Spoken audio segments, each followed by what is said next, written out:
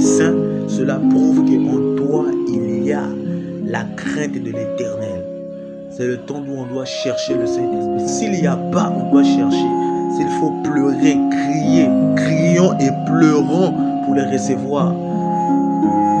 Et n'arrêtons pas, ne cessons pas de prier et de crier à Dieu pour le Saint-Esprit aussi longtemps qu'il ne nous a pas donné cela.